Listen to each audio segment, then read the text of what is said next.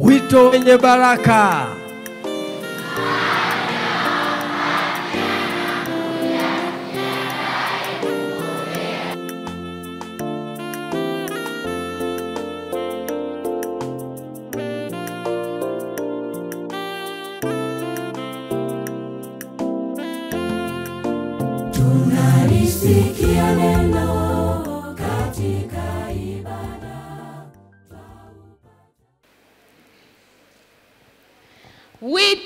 Wenye baraka.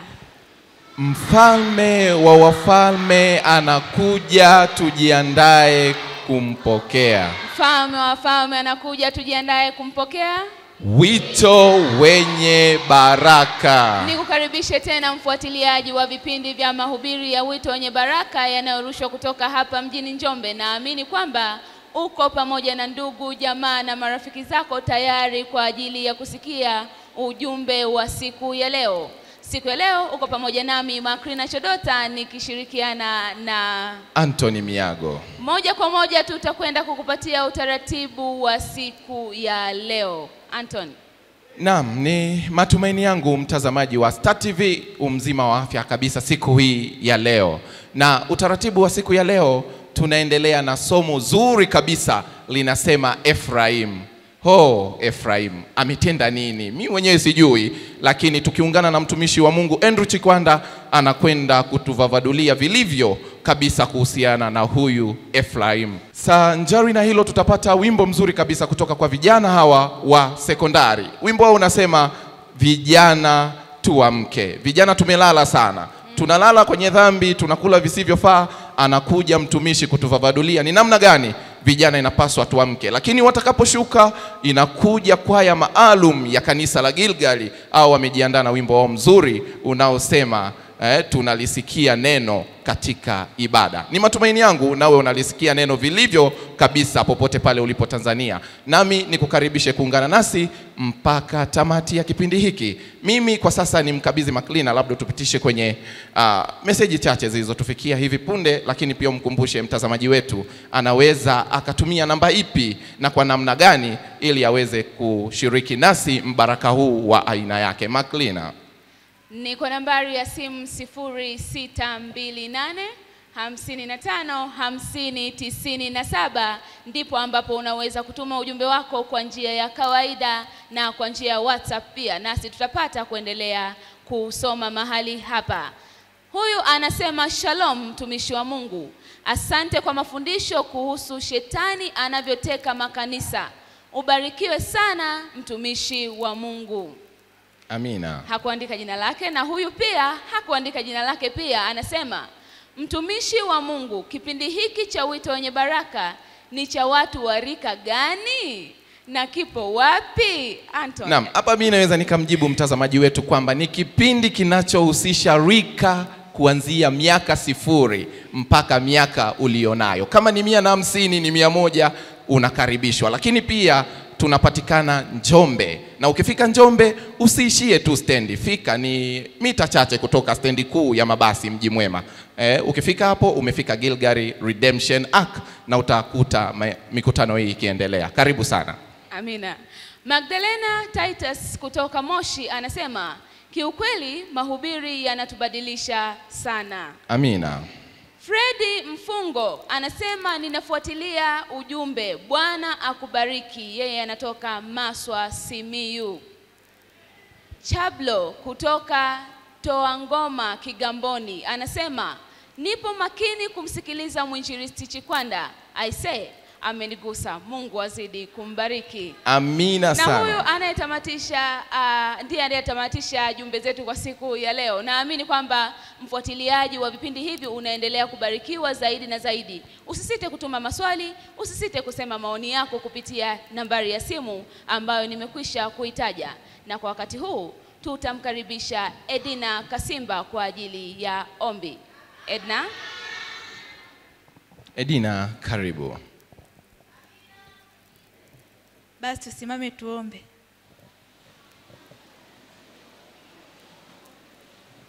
Tuombe. Nasema asante Mungu wetu kwa sababu umeweza kutupigania toka mwanzo wa mahubiri haya mpaka masaya. Ni muda huu Mwenyezi Mungu nakuja mbele zako tunavyoendelea na vipindi hivi, tunaomba ukae nasi ukambariki mtumishi huyu akanene kulingana na mapenzi yako. Hivyo tuombavyo kwa jina la Bwana wetu, amina. Umetumiaje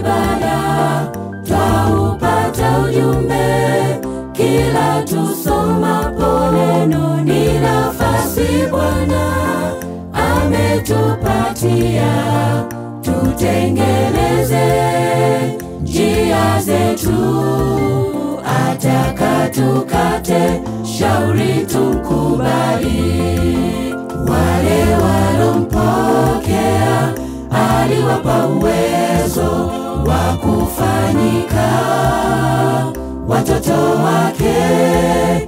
Twangoja lini sasa kumpokea? Tutakasike tuwe watoto wake. Wale walompokea aliwapa uwezo wa kufanyika watoto wake.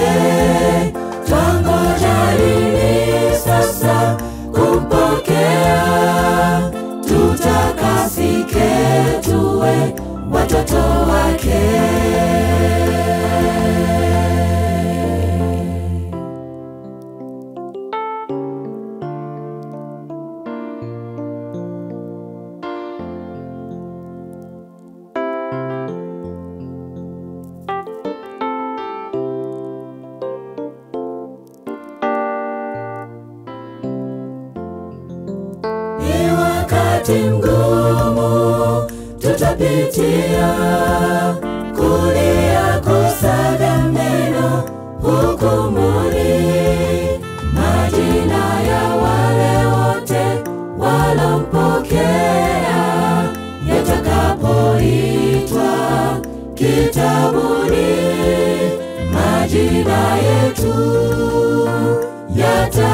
Yataitwaje? Swali gumu jiulize. Ni wakati mgumu tutapitia, kulia kusaga meno hukumuni,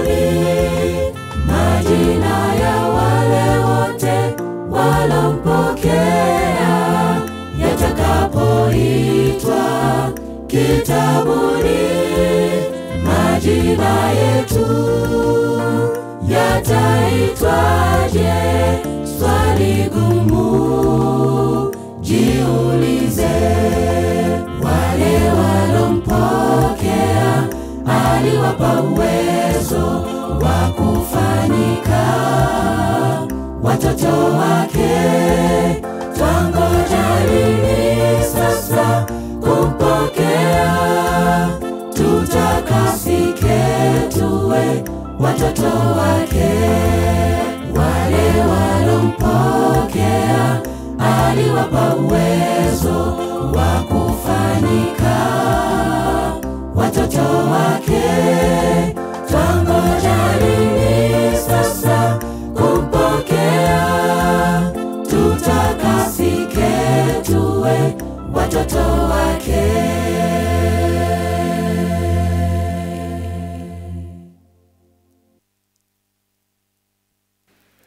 Wito wenye baraka. Anakuja. Mfalme wa wafalme anakuja, tujiandae kumpokea. Haleluya, haleluya. Bwana asifiwe sana. Wapendwa, ninawakaribisha tena kwa mara nyingine. Kwa mara nyingine ninawakaribisheni. Mungu wetu ni mwema sana. Mungu wetu anatupenda sana. Mungu wetu anatujali sana. Haleluya! Somo la Efraim sehemu ya sita. Lakini kwa nini somo hili tumelipanua kwa kiasi hiko kikubwa? Ni kwa sababu tunataka kujua mapenzi ya Mungu na Mungu wetu kupitia FM aweze kutupatia mafundisho makubwa sana, kwa sababu Mungu ametubariki. Je, mibaraka yako ambayo Mungu amekubariki unaitumiaje? Sasa Efraim alipoteza nafasi yake. Kwa sababu gani? Alitumia e, mali alizonazo e, mali alizonazo na vitu alivyonavyo kujifanya yeye ni sawa na Mungu. Najua wapendwa wasikilizaji wangu, utaona kwamba kumbe Biblia ina ina inajifafanua kwa undani zaidi, kwa undani zaidi, na tumeona e, kama Ephraim jinsi gani ambavyo anafananishwa kama Tilo, anafananishwa kama Tilo. Tilo ni mji mashuhuri sana enzi hizo, kale na kale, ni miji iliyosifika, lakini Tilo baadaye tunaiona kwa sababu ya mafanikio makubwa eh, ikafika mahala ikadai kwamba yenyewe ni sawa na Mungu. Na wapendwa, ndivyo yalivyo mafanikio. Unafika mahala unakufuru, unafika mahala unakufulu kwa sababu ya mafanikio yako makubwa ambayo Mungu amekujalia. Na tutambue wazi kwamba mafanikio yote ni Mungu wetu anayetupatia. Aliwaonya wana wa Israeli, utakapojenga nyumba nzuri na kukaa mahali hapo, mashamba yako yakawa yaka, yaka yanastawisha ya vizuri, alafu ukavuna mavuno mengi, alafu uka eh, mali zako zikaongezeka, mifugo yako ikaongezeka. Kamwe usiseme moyoni mwako kwamba ni kwa akili yangu na kwa nguvu yangu nimejipatia mali hii. Utambue kwamba ni Mungu ndiye anayekupatia. Sasa tabia ya shetani anahamisha anahamisha tabia yake mbaya mbovu yenye ubinafsi anaileta kwa wanadamu. Posoma kitabu cha Ufunuo kumi na saba, yule mwanamke mwenye majina makufuru, ukimwona yule mwanamke amekuwa ni tajiri eh, anavaa nguo za dhahabu, nguo nzuri, ana kikombe cha dhahabu na, na vito vya thamani eh, ukiangalia katika kitabu kile cha Ufunuo kumi na saba yule mwanamke kahaba aliyekaa juu ya mnyama ambayo sisi tunasema ni kanisa, kwa sababu Biblia tafsiri ya mwanamke ni kanisa. Sasa kanisa linaweza kuwa jema au likawa baya, likawa aminifu au likawa kahaba. Sasa kanisa lile ulioliona linaonekana lina utajiri mkubwa, lakini limejaa makufulu, limejaa makufulu. Makufuru mojawapo ni pale e, kujinua kuwa sawa na Mungu na kujifanya kwamba sawa na Mungu. Kwa maana gani? Kwa maana gani? Sisi tulio wanadamu tunapofika mahala tunakuwa sawa na Mungu, hilo ndio kufuru. Mimi ninaweza kujiita kwa sababu ya utajiri wangu nikajiita Mungu, na nyinyi nikasema ni, mniite Mungu, hiyo ni kukufulu. Mimi nikasema Baba Mtakatifu, aliye Baba Mtakatifu ni mmoja, naye ni Mungu wa mbinguni peke yake, peke yake, mruzuku wa vitu vyote.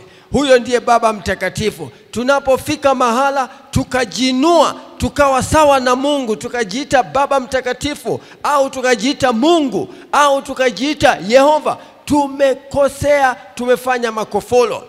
Na ukiangalia ni kwa sababu ya mali tulizo nazo, kwa sababu ya utajiri tulio nao, na matokeo yake tunaona kwamba sisi ndio wenye uwezo, tunye wenye uwezo mkubwa. Kumbe wapendwa watazamaji wangu, haya ndio tuliojifunza kipindi kilicho kilichopita, na mpendwa, unaweza kufuatilia katika mitandao ukajifunza zaidi, ukajifunza zaidi. Leo tunaendelea tena na somo e, la Efraimu sehemu ya, ya sita, sehemu ya sita. Tunataka, tunataka kwamba tuelewe kwa upana wake kwa upande wake ili Mungu wetu atusaidie, hasa kwa sababu Efraimu amekuwa kama fundisho kwetu sisi tunaoishi katika miisho ya dunia hii, kwamba Mungu hubariki wanadamu, lakini kwa sababu ya mabaraka, mibaraka mikubwa ambayo Mungu anatujalia, tunafika mahala hatumheshimu Mungu,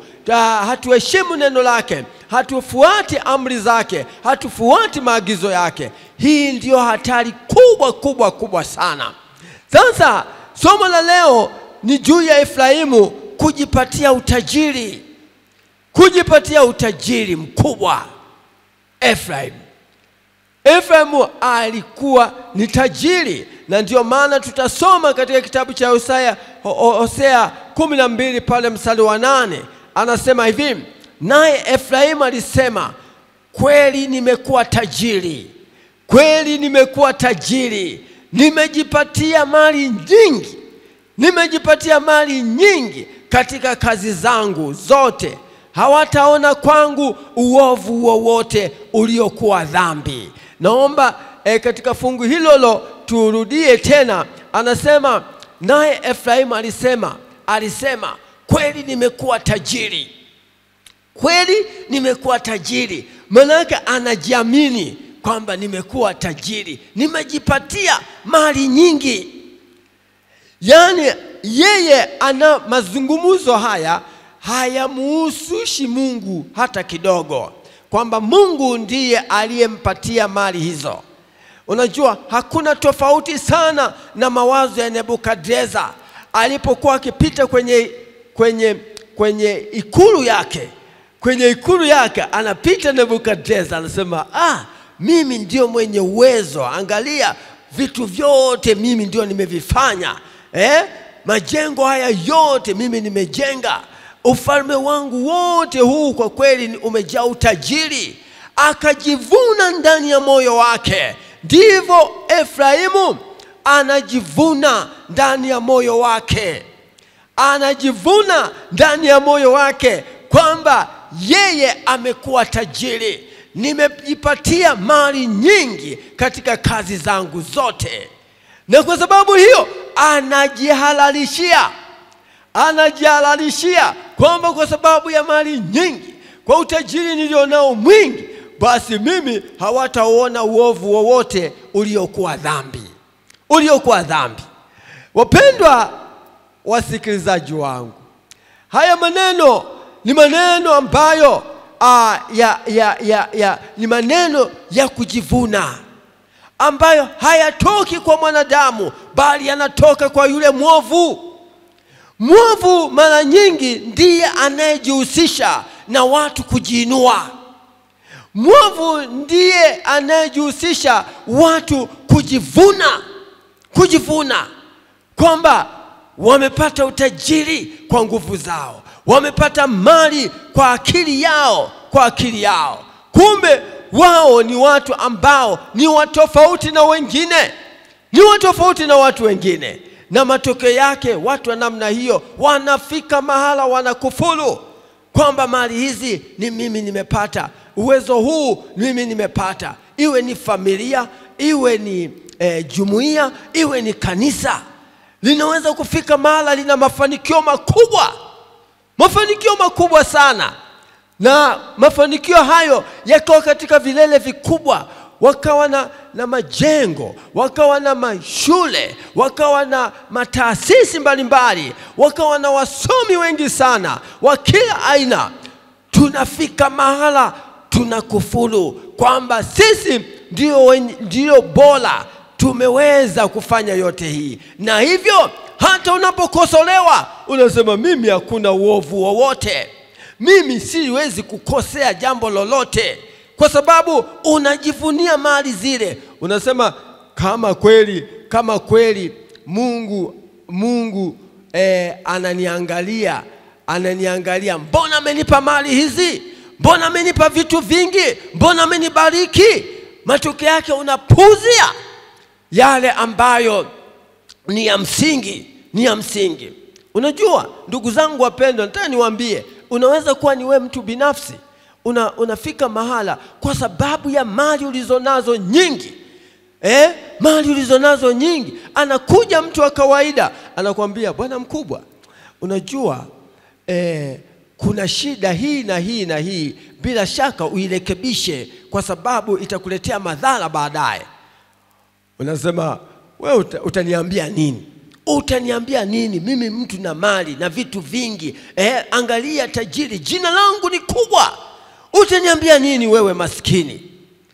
Unaona, linaweza kuwa ni kanisa ambalo eh, Mungu ameliinua katika viwango vya juu kama nilivyosema, lina mataasisi, lina vitu vingi, mali nyingi, linafika mahala inasema kwamba mimi siwezi kudanganyika, mimi siwezi kudanganyika wala siwezi kudanganya. Mimi ni, ni, ni sawa kabisa, mimi ni sawa kabisa, mimi ni mtakatifu kabisa, mimi ni mwema kabisa, mimi eh, kila nachokisema ni cha kweli, na wewe mwanadamu na nani na wai yote lazima afuate.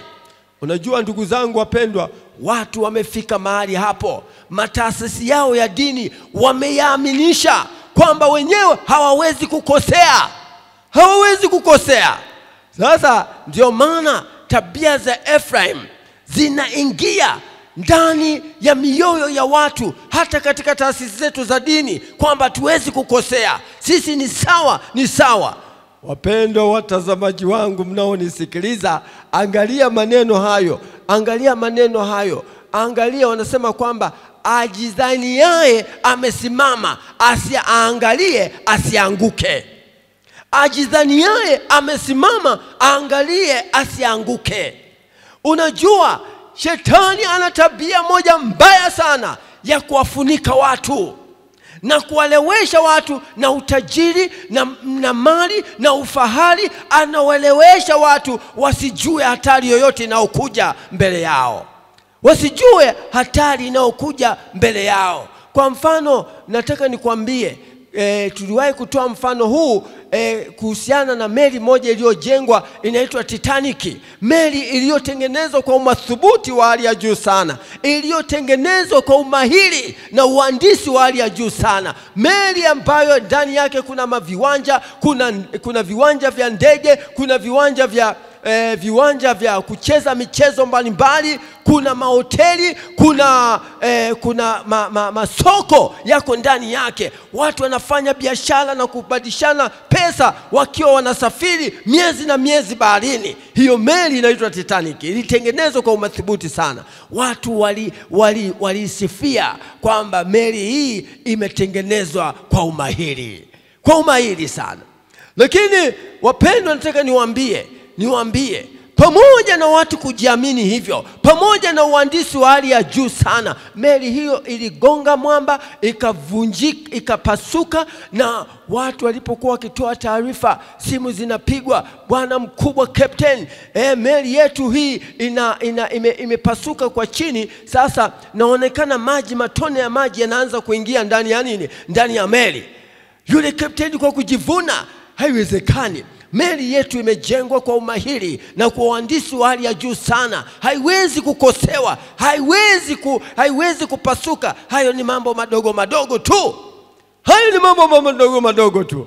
Ndugu zangu wapendwa, eh, huyu captain alidhalau, alidhalau ma, mashauri ya watu wa kawaida, alidhalau ali, ali, ali, ali, ali basi meli ile ika zidi kupasuka, maji yakaingia yakapanua ufa, maji yakaingia kwa nguvu sana, meli ikateteleka ndipo na hata yule captain akagundua hey, kumbe meli imeanza kuzama, imeanza kuzama. Lakini kabla ya, ya captain anapita kwa kiburi, haiwezekani, haiwezekani, japokuwa anaona maji yanaingia japokuwa maji anaona yanaingia, anasema haiwezekani meli ikazama kwa sababu imetengeneza. Anang'ang'ania tu ule umaili wake wa zamani kwamba haiwezekani kuzama hii meli. Baadaye meli ile ilipasuka chini, maji yakaingia, watu wakafa, waliookolewa wachache sana, wengi walizama chini na mali zao na mapesa yao na kila kitu, kila kitu. Uokoaji ulikuwa ni mdogo kwa sababu ya kudhalau na kutotoa tahadhari. Ndivyo ilivyo, wapendwa, nataka niwaambie haya makanisa yetu tunaojivunia kwamba yamejengwa kwa uzuri na kwamba hayawezi kukosea, hayawezi kukosea. Wapendwa watazamaji wangu, tusi, tusifunikwe na hila za shetani kwa mali tulizo nazo kwa mali tulizo nazo na uzuri wa majengo yetu eh, na uzuri wa mataasisi yetu. Tusijivunie vitu hivyo, bali tuangalie neno la Mungu linasema nini. Neno la Mungu ndilo litusaidie sana kutuongoza eh, kutuongoza. Unajua Mungu anafurahia, nataka niwaambie, Mungu anafurahia, na ndio maana Mungu anabariki, na Mungu anabariki katika maisha Mungu anabariki. Haleluya! Alimbariki Sulemani, alimbariki sana. Sulemani alijenga hekalu ambalo lilimpendeza hata Mungu wa mbinguni. Hata ndivyo ilivyo, Mungu anatamani watu wake walio waaminifu, watu wake ambao amewachagua wajenge makanisa yenye ufahari, makanisa yenye kupendeza. Hilo ndio Mungu anapenda.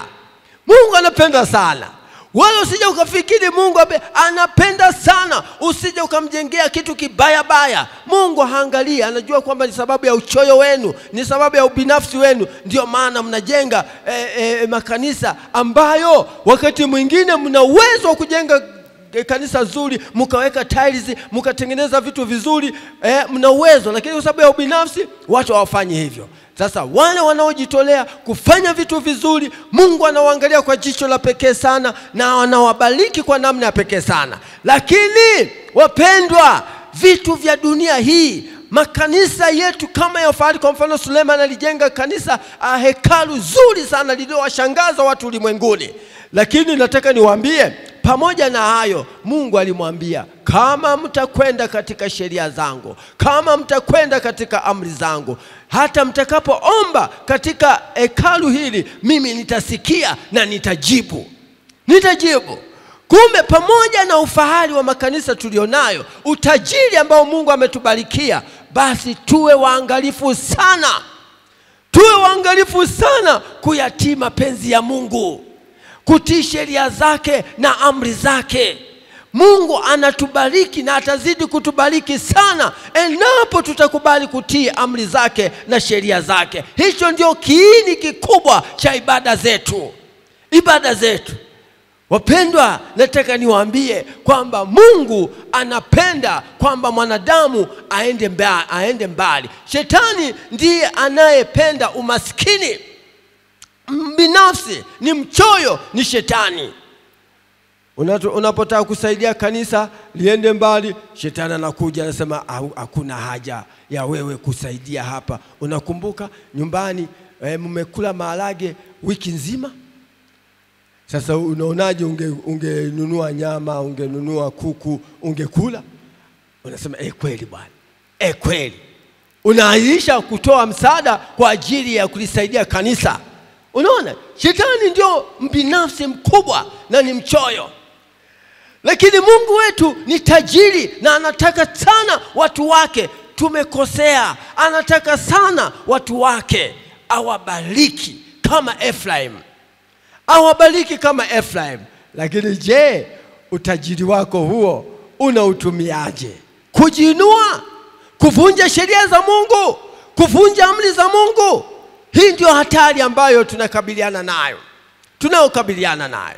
Kumbe wapendwa, mnaonisikiliza, kamwe tusijivunie mali tulizo nazo, bali tujivunie neno la Mungu, tujivunie amri za Mungu, tujivunie maagizo ya Mungu. Hayo yatatuinua na utajiri wetu utaonekana una maana sana katika maisha. Haleluya, haleluya. Alafu pia jamani, nataka niwaambie kwamba utajiri unaweza kufika mahala. Unajua, wakati mwingine Mungu anapoangalia tunapojiamini kupita kiasi tunapojiamini kupita kiasi na kusema kwamba sisi hatuna makosa, sisi hatuna dhambi, sisi ni, ni, ni safi kabisa eh?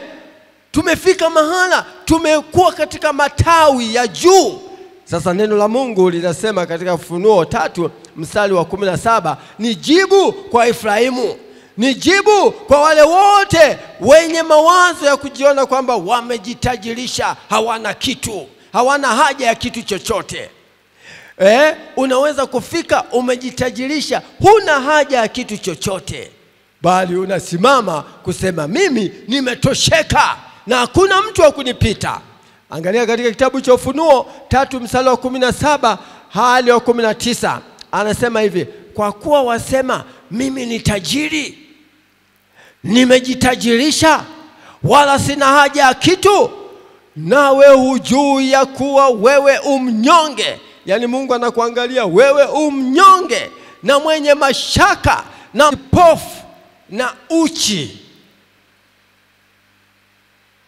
na kupa shauri ununue kwangu dhahabu iliyosafishwa kwa moto, upate kuwa tajiri, na mavazi meupe upate kuvaa, aibu ya uchi wako isionekane, na dawa ya macho ya kujipaka macho yako upate kuona.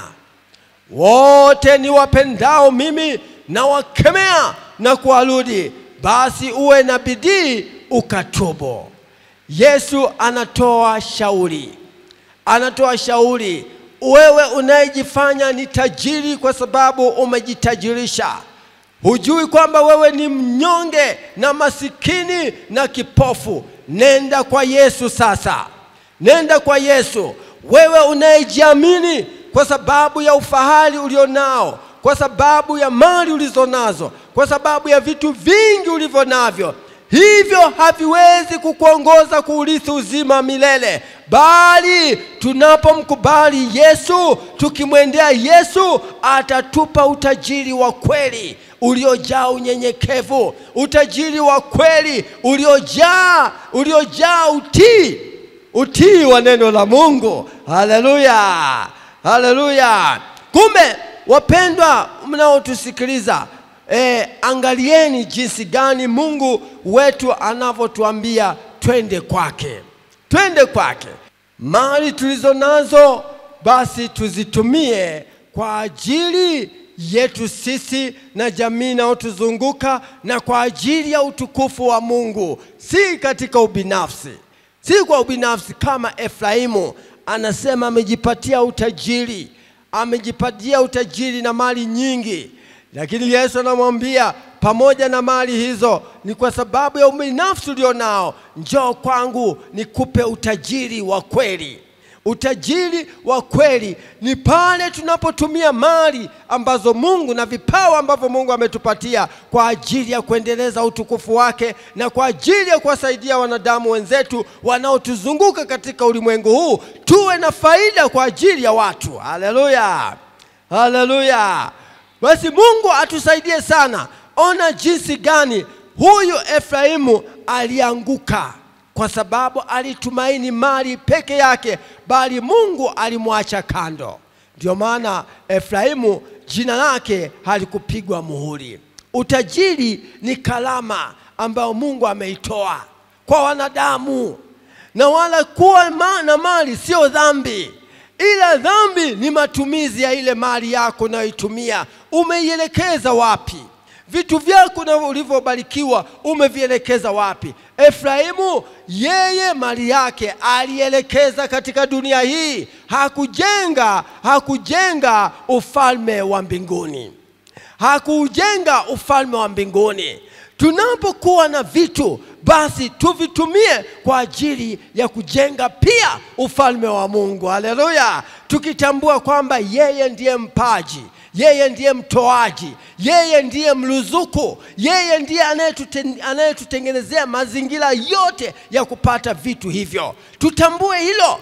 Lakini Efraim hakutambua jambo hilo. Yeye akaona mali alizo nazo ni, ni, ni juhudi yake na nguvu yake na akili yake, si mali tu, hata vyeo tulivyo navyo, vyeo ni tulivyo navyo pia ni utajiri ambao Mungu ametupatia.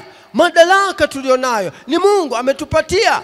Vitu vingi, talanta nyingi ambazo Mungu amezijaza, zile ni mali zile ni rasilimali kwa ajili ya, ku, ya kukuinua wewe. Je, vitu hivyo, vyeo vyako, madaraka yako unayo Mungu ambaye amekupatia? Kwa sababu nataka niwaambie, madaraka yanatoka kwa Mungu, mamlaka yanatoka kwa Mungu. Mungu ndiye anayetupatia nafasi kuwa na akili e, na uwezo. Vyote hivyo Mungu anatupatia kukutengenezea mazingira uwe mtu fulani mahali fulani mahali fulani. Sasa je, hayo yote ambayo Mungu amekupatia unayatumiaje? Unayatumiaje? Je, cheo chako ndio kinaofanya kina, kina, kina ufarakane na mke, na mke wako, ufarakane na jamii unaoishi? Je, utajiri ulio nao watu hawali hawanywi kwa sababu ya mali ulizo nazo? Je, ni mbaraka kwa ajili ya wanadamu wengine?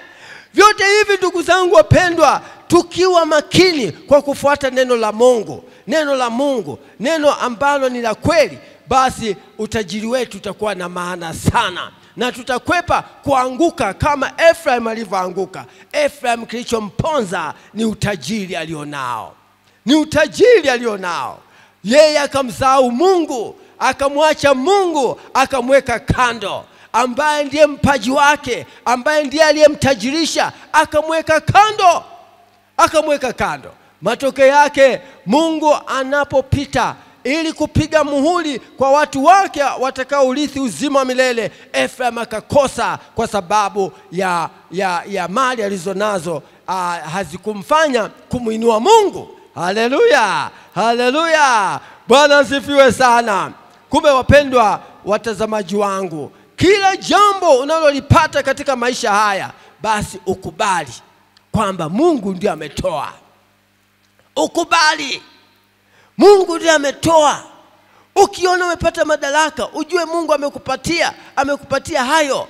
Ukiona umepata nafasi ya kazi, umepata nafasi ya kazi, Mungu amefungua njia kwako, amekupatia. Sasa ukiona unafanya biashara unafanikiwa, huna haja kwenda kwa, kwa, kwa waganga na kutafuta hirizi. Hamuna. Mungu ameweka ndani yako vitu vyema, ili ukifanya biashara hizo kwa wakati huo uweze kupata mali. Mungu ameweka hiyo, ni mibaraka ambayo Mungu huonyeshea wanadamu wote, anaonyeshea wanadamu wote. Sasa unapopata vitu kama hivyo, basi utambue kwamba Mungu ndiye aliyekupatia ndiye aliyokupatia. Unajua Mungu anatumia formula ndogo sana, anasema sehemu ya kumi ya mali yako nitolee mimi, sehemu ya kumi ya mali yako nitolee mimi. Yaani kutoa sehemu ya kumi ya mali yako. Kwa mfano umepata elfu laki moja unatoa, unatoa elfu kumi unabakiwa na tisini elfu hiyo ni mali ya Mungu, lakini Mungu si kwamba anapokea anapokea Mungu kwamba yeye ndio ameishiwa ndio anapata. Hapana, yeye anachokiangalia anachokiangalia na alivyogawa kwamba hiyo hela itatumika kuendeleza ufalme wake duniani, kuendeleza ufalme wake duniani. Haleluya! Sasa lakini jambo kubwa la siri ni kwamba wewe kama mwanadamu unatambua kwamba Mungu ndiye aliyekupatia vitu vyote hivyo. Haleluya! Mungu ndiye aliyekupatia vitu vyote hivyo. Sasa unapotoa, malaika wanaangalia pale, wanaangalia pale, na ripoti hiyo inakwenda mbinguni kwamba mtu huyu ametoa sehemu ya kumi ya mali yake, kwa sababu anakupenda wewe Mungu, anakujali wewe Mungu, ametambua kwamba yeye ni mwanadamu, si Mungu. Yeye ni mwanadamu, si Mungu. Kumbe wapendwa wa wa tazamaji wangu, mimi nawasihi tu katika jina la Yesu, mali ambazo Mungu ametupatia basi tuzitumie kwa ajili ya utukufu wake na kwa ajili ya maendeleo halali ya wanadamu wenzetu. Bwana asifiwe sana. Bwana asifiwe sana. Sasa tumeangalia yote hayo, tumeona habari za Efraim, tumeona kwamba Efraim alifanya dhambi. Efraim a, alikuwa mlevi. Efraim alivunja sheria za Mungu. Tukaona mambo mengi ndani yake. Efraim kama Tiro alijinua akafana, aka, kama Mungu. Sasa ndugu zangu wapendwa, tumekosa, tumekosa kama wanadamu, tutambue tumekosa, kwa sababu Efraimu anatuwakilisha sisi wanadamu ambao tuko na tabia kama Efraimu. Sasa leo kupitia maandiko matakatifu, kupitia mahubiri haya, tumetambua ubinafsi wetu tulionao. Sasa Mungu wetu anatuangalia. Haleluya! Mungu wetu anatuangalia, anatutazama kwa huruma. Je, tunafika mahala tunatambua makosa yetu?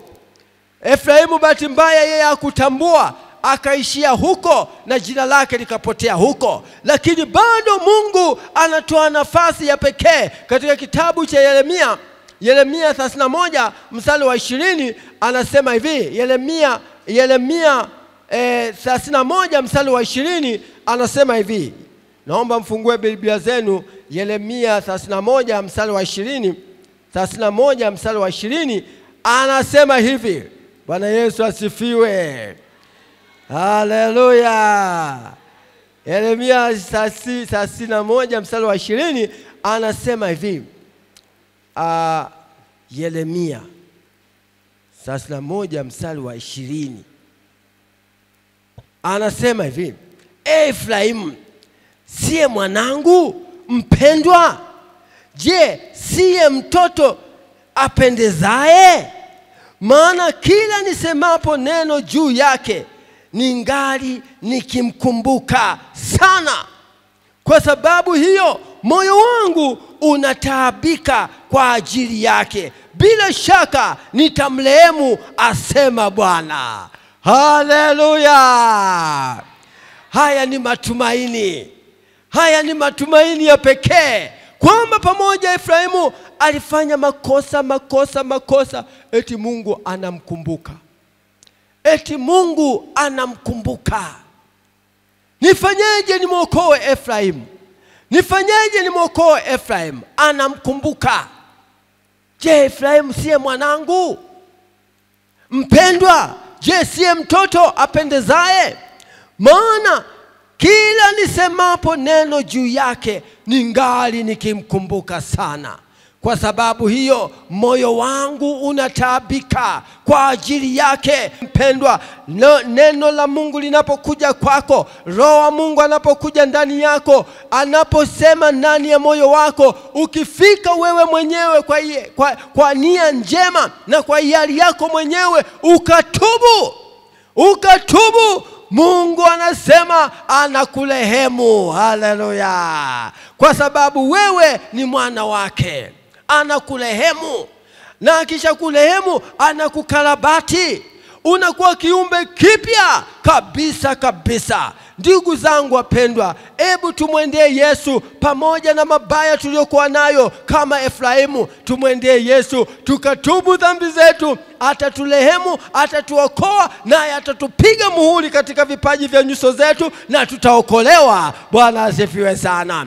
Kanisa ambalo limeasi sheria za Mungu, limeasi maagizo ya Mungu, linapofika mahala likaelewa, ndugu zangu wapendwa, likakubali kufuata neno la Mungu na sheria zake na maagizo yake, Mungu atalirehemu kanisa hilo, atalirehemu kanisa hilo, na Mungu ataleta mibaraka mikubwa kwa ajili ya kanisa hilo, kwa sababu limekubali kudhiri, kwa sababu Mungu hapendi mwanadamu apotee, hapendi mwanadamu yote angamie, bali apate kuokolewa, aupate uzima wa milele. Hayo ndio makusudi ya Mungu wetu, hayo ndio ma, ni ajenda kubwa ya Mungu wetu. Ndugu zangu wapendwa, angalia katika kitabu cha Zaburi 80 msali wa kwanza, ona upana wa Mungu wetu jinsi ulivyo.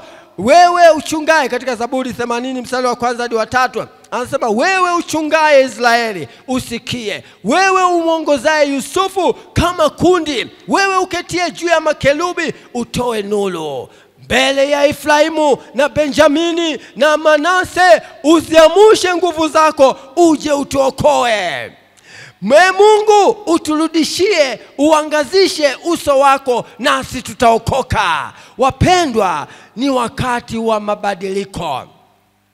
Kupitia neno hili ni wakati wa mabadiliko. Tumeona habari za Efraimu zilivyo mbaya mbaya, lakini neno la Mungu linasema unapotambua, unapotambua basi unamlilia Mungu akusaidie. Makanisa yetu tulionayo tumetambua kabisa, tumevunja sheria ya Mungu, tumevunja amri za Mungu, tumevunja sabato ya Mungu. Basi tufike mahala tuseme, Bwana, tumemkosea Mungu wetu. Mungu atusamehe, Mungu aturehemu, aje akutuokoe. Ndugu zangu wapendwa, Mungu wetu atakuangalia toka katika kiti chake cha enzi na atakuokoa. Haleluya! Haijalishi uko katika dhehebu gani, haijalishi uko katika kanisa gani, Mungu atakuokoa kwa sababu umetambua sheria zake, umetambua amri zake, umetambua sabato yake. Mungu atakuokoa na utapigwa muhuri wa kukufanya wewe urithi uzima wa milele. Bwana asifiwe sana. Bwana asifiwe sana. Bwana asifiwe sana. Unajua Isaya 64 mstari wa sita hadi wa tisa, lazima tujitambue kama sisi wanadamu, lazima tujitambue kama sisi wanadamu, kwa maana sisi sote tumekuwa kama mtu aliye mchafu na matendo yetu yote ya haki yamekuwa kama nguo iliyotiwa unajisi. Sisi sote twanyauka kama jani, na maovu yetu yatuondoa kama upepo ondoavyo. Tena hapana alitiae jina lako maana yake alitiae jina lake, maana yake tumetenda dhambi, tumevunja sheria za Mungu, tumevunja sabato ya Mungu. Wapendwa, lazima tutambue hilo ajitahidie akushike, kwa kuwa umetuficha uso wako, nawe umetukomesha kwa njia ya maovu yetu.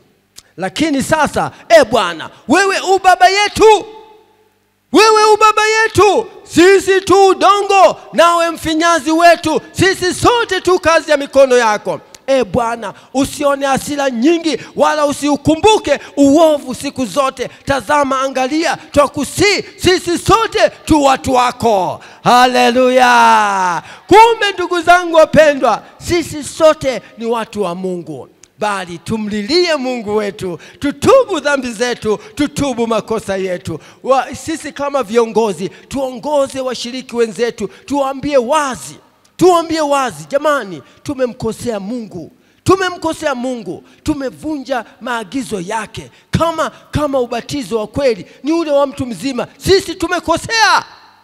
Tulikuwa tunafanya misa za wafu, tumekosea tulikuwa tuna tunakula vitu najisi na tumewafundisha watu, watu, watu wale vitu vyote, tumekosea.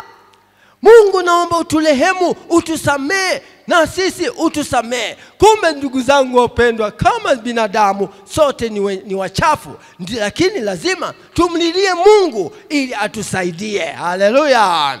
Mungu atusaidie, atuokoe na atupe, uh, atupe muhuri wake ili tuurithi uzima wa milele. Mungu wetu ni mwema sana, Mungu wetu ni mwenye upendo sana. Yeye yuko tayari kuturehemu tunapomlilia, lakini kama tunang'ang'ania maovu, kama tunang'ang'ania mabaya, tutaangamia na mabaya yetu, tutaangamia na dhambi zetu, tutaangamia na, na uvunjaji wetu wa sheria, tutapotea. Lakini ni heri kabla ya siku tujenyekee tutubu. Ndio maana Biblia inasema kama umekosana na adui yako, adui yako, kabla ya kwenda mahakamani, patana naye kwanza, ili usije ukatupwa jela ukatupwa jela kwa sababu ya kosa lako. Ndivyo ilivyo, tungali hai, tungali hai, tumesikia maneno ya Mungu. Ni kipindi cha kupatana na Yesu, ni kipindi cha kutubu dhambi zetu, ni kipindi cha kuacha mabaya yetu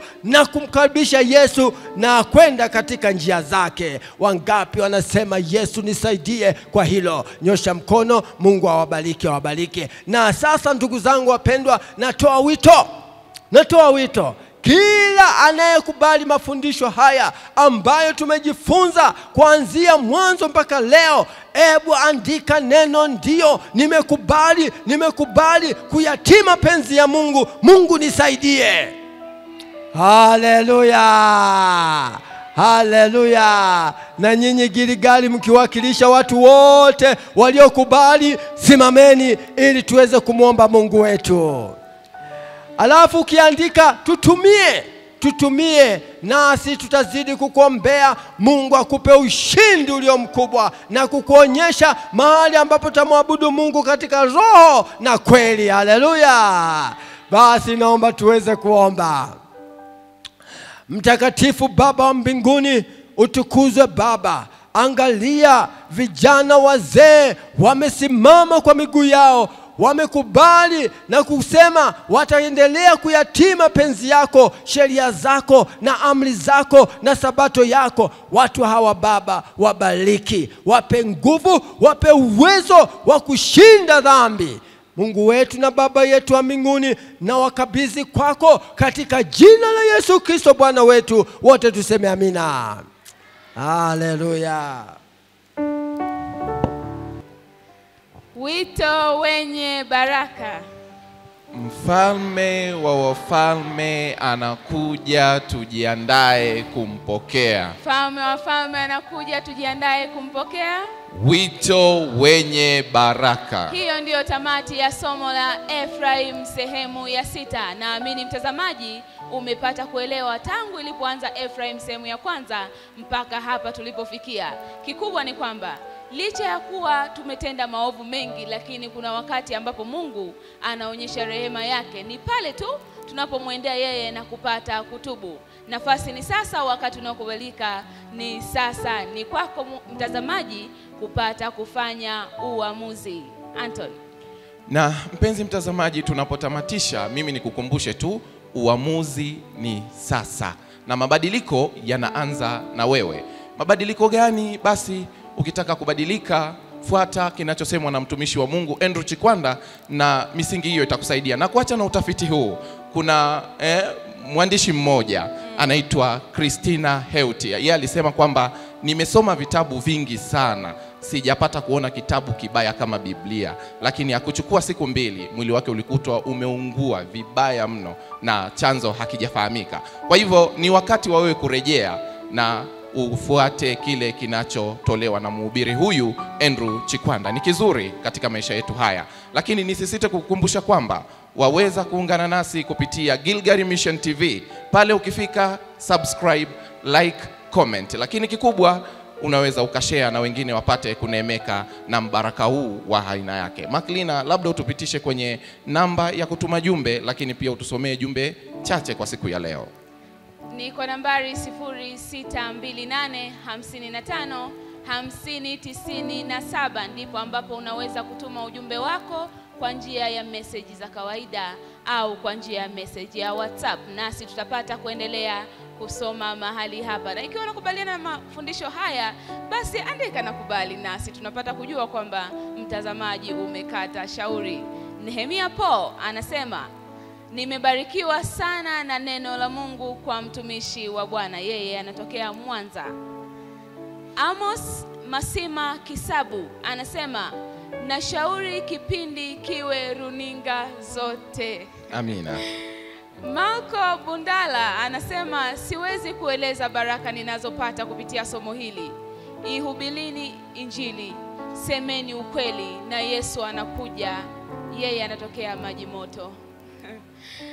Uh, Henry kutoka Tanga anasema mtumishi ubarikiwe, yaani nimebarikiwa sana. Amina. Uh, huyu mwingine hakuandika jina lake, lakini anasema shule hiyo inapatikana wapi? Nimeipenda. Inapatikana Njombe na ni wilaya ya Njombe mji. Yaani ukifika tu hapo ulizia Gilgari Mission Schools utafikishwa na mtu yeyote. Karibu sana. Amina. Huyu mwingine hakuandika jina, anasema mchungaji, namshukuru Mungu sana kwa kuruhusu mahubiri haya. Amina.